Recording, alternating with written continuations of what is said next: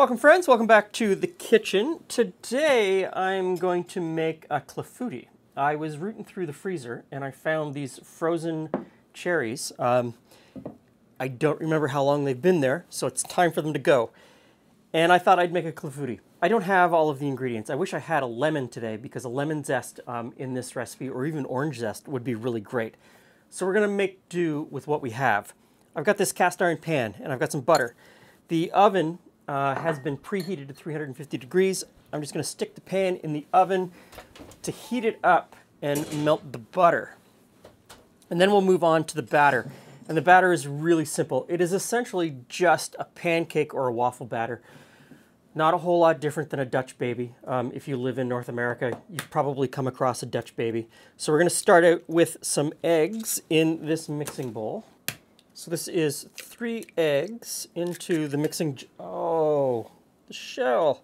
Okay, so three eggs into the mixing jug. There is some sugar, some salt, and a little bit of vanilla. And we give this a really good whipping.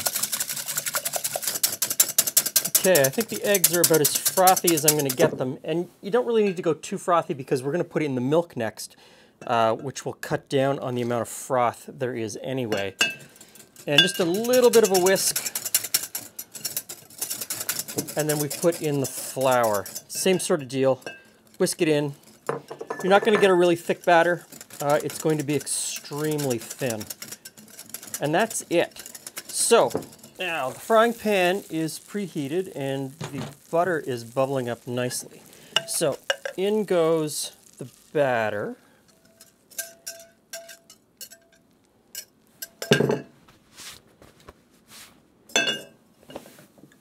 And then we put the cherries in on top.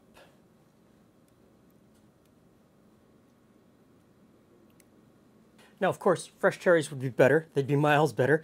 But, you know, it is the end of February in Canada, so a little bit of wintertime and frozen cherries are what we've got. But you could put almost any fruit on top. You could put uh, sliced peaches, sliced apples, pretty much anything that you want. Blueberries would be really good. I think just knowing that you could put a fruit component would completely change this uh, according to the seasons. So I'm just sprinkling a little bit of sugar on top and then I'm going to stick this back in the oven for about a half an hour, 40 minutes, something like that. I'll keep an eye on it. Let's see how it goes.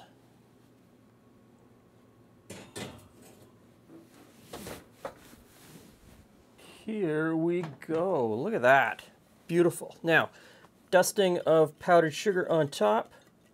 Now, as it cools here, it's going to deflate a little bit, which is kind of sad to watch because it comes out of the oven and it just looks so amazing. And then it, you know, so the thing is, if you're going to, uh, if you're going to serve this at a dinner party, you want to serve it warm, straight out of the oven. So it's the kind of thing where you, uh, you make the batter ahead of time, stick the batter in the fridge, and then cook it a la minute or just before you need to serve it. So as you're finishing up your last course in your dinner party, stick it in the oven, and, uh, and then bring it out just as the tea or the coffee is ready. Um, I hope Julie gets here soon because I really want to dig into this.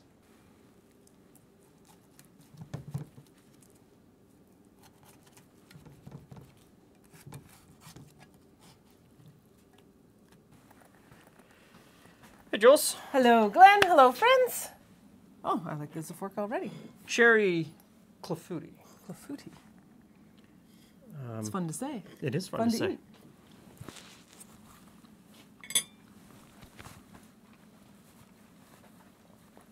I really like that. It's dessert. It is. How can you go wrong? It's it's it's like a custardy it's uh, cherry. It's it is tasty part, treat. It's partway between a custard and a Dutch baby pancake or a sweet um, Yorkshire pudding, but it, that custardy flavor in the bottom there you're a sucker for a custard. I am. I we am. all know this to be true, I right? I am a sucker. It's really good. Mm. I think apricots would go really well in here too. Mm-hmm. Mm-hmm. Any stone fruit would work really well. Peaches, apricots, plums, cherries, all of those things. Okay, so this is a winner. Any fruit at all would work in that. Um, doesn't take much time at all to make, and it is something that you can make at the end of a dinner party fresh while your guests are still hanging out. Because it is, Do all. well, and, and it is best coming to the table hot while it's still puffed up before it deflates. But for now, there's just the two of us, so Yeah. we'll just keep on eating. Thanks for stopping by. See you again soon.